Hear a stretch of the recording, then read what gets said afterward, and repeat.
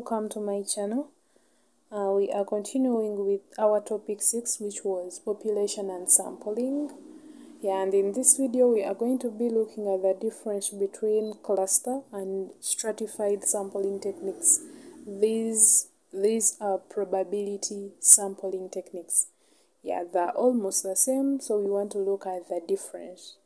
Yeah, the main difference between cluster sampling and stratified sampling is that in cluster, a cluster is a group of things, a small group of things.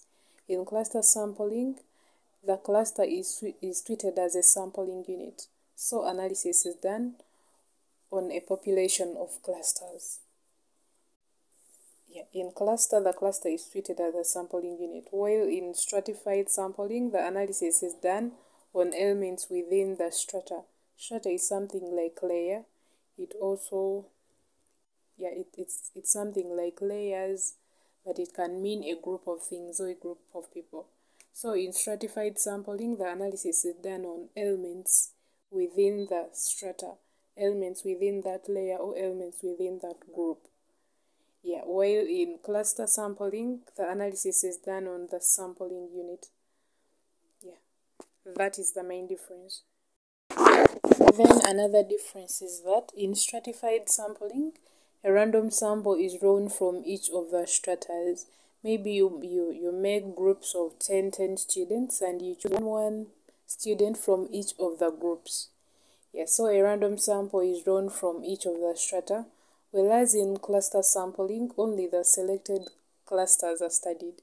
You choose one group of 10 students and you use that as your sampling unit.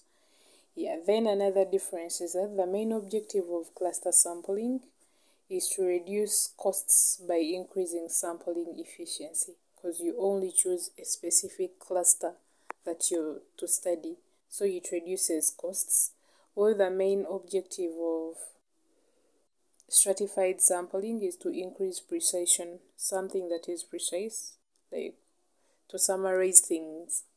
Yeah, so those are the differences between stratified sampling and cluster sampling. Thanks for watching. Don't forget to subscribe, like, comment, share with your friends and watch my next video. We shall be introducing topic 7 which is called data processing, analysis and presentation.